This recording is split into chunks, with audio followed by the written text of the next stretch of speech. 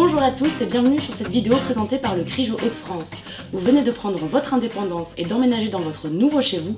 Vous pouvez certainement prétendre à une aide au logement.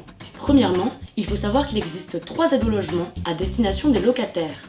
L'aide personnalisée au logement, plus connue sous l'abréviation APL, l'aide de logement familial, ALF, et l'aide au logement social, ALS. Ces trois aides sont attribuées par la CAF, la Caisse d'allocation familiale. Elles ne sont pas destinées aux mêmes personnes et donc ne sont pas cumulables.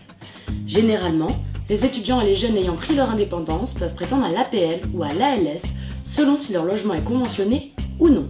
Le montant de ces aides n'est pas fixe. Il varie selon votre lieu d'habitation et votre loyer, votre situation, vos ressources, mais également celles des autres membres de votre foyer. Les revenus de vos parents ne sont pas pris en compte dans le calcul. Mais si vous vivez en couple, la CAF prendra en compte les ressources et la situation de votre partenaire pour ajuster le montant de votre prestation. Vous n'aurez qu'une seule demande d'aide à effectuer, vous partagerez le même compte allocataire et recevrez votre aide commune sur un seul compte bancaire.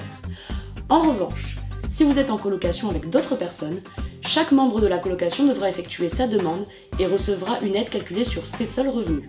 Notez aussi que votre aide au logement ne sera effective qu'un mois après votre emménagement. Dans le cas d'une première demande, il est courant que le premier versement arrive avec du retard. Pour bénéficier de l'aide personnalisée au logement, rendez-vous sur le site de la CAF. Vous pourrez directement en ligne simuler votre demande, créer votre compte allocataire, remplir le formulaire d'aide au logement, déposer vos justificatifs et suivre votre dossier. Pour plus d'informations et de conseils sur le logement, je vous invite à consulter les articles du CRIJ sur le site ij-hdf.fr. A bientôt